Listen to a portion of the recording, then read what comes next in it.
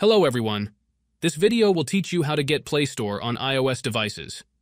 Play Store is usually only for Android devices, but there is a trick to mirror it for iOS devices. Check out my phone, it runs smoothly, and you can enjoy some amazing apps with it. If you want to learn how to get Play Store on your iOS device, don't miss this video.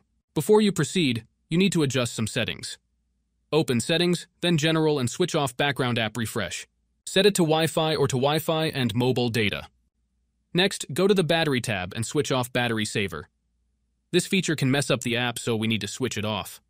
Once you complete these two steps, you can proceed to get Play Store on your device. What you need to do next is open your internet browser on your device and go to the website called oginject.vip.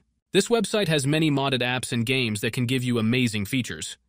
Once you are on the website, search for Play Store and click on it. You will see a page with some information about the app and a button that says Start Injection. Click on that button and wait for a few seconds.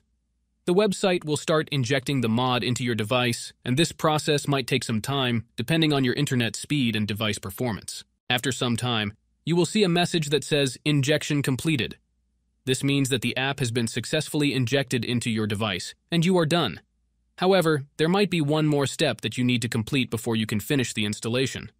This step might vary depending on your device model and operating system, but it usually involves downloading some additional files.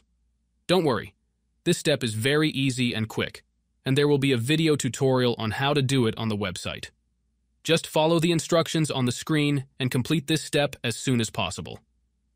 Once you have done this step, you will have Play Store on your iOS device. So, that's how you can get Play Store on an iPhone. I hope you liked this video and found it helpful. If you did, please hit the like button, share it with your friends, and subscribe to my channel for more awesome videos like this one. Thanks for watching, and I'll see you in the next video. Peace out.